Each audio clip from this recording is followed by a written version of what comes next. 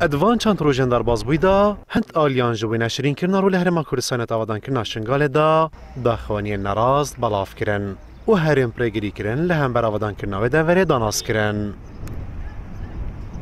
قایمقام دا دال که لە دوانێنوان به بن به لە لقلم دەدا و نه یا و دەستی هەرێمە هاتیش کردن. او چندین هاتیەکردن و چەندین کۆنفرانسی ژبووی من من که هیچ ئاستەنگیل بەر ڕێکخراوی ناودەوڵەتی ئان پرۆژێ بابەتی شنگال دو قوناغادا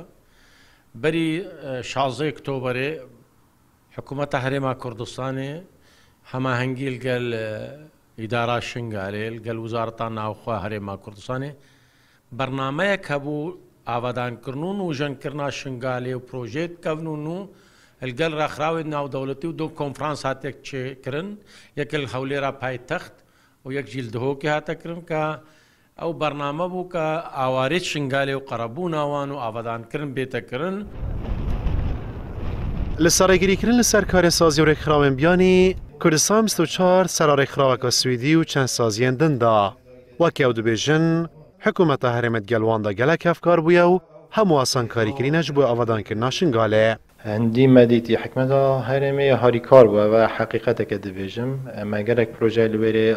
ئەنجام آه، داین آه، تەوزیعکردنا هاریکاریەت کە آه، پارە و مشروع مەشروعە نیژەنکردن هەندێک مدرسه و مستەفسەف هەلوێرە مەیتکردین و دایمەنی هاریکار بوو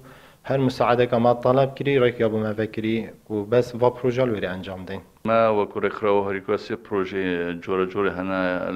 دفر شنگۆرێ و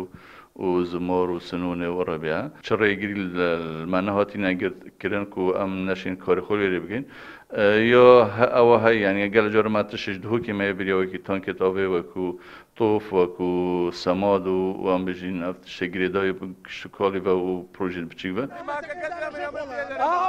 بری بویار این شازه اکتو بری و دو پیش راجی حکومت هرمی لسر حول نوادان که ناشنگال و دورینوی بردامه جبویوی مبسته جی بری چندین سازی و رکرامن دولتی دایا به دوره چندین پروژه باش جبویوان نو چند زره وکفتی تین انجام دان مصبه محمد کرسام ستوچار دهوک